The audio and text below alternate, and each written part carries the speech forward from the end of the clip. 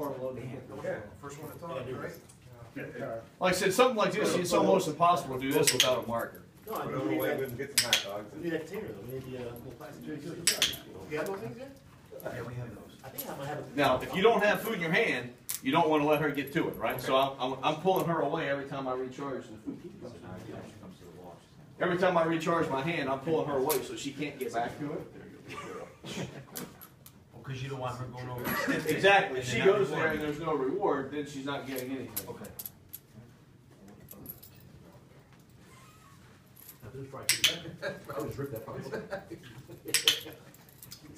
When you go to one of the cages, the dog can't go in. The dog does. It can't go in.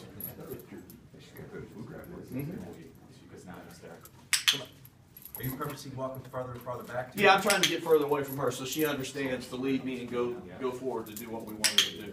And now I'm waiting for her nose to actually touch that thing and not just be close to it. That's nice, we start in a progressive weight. Yep.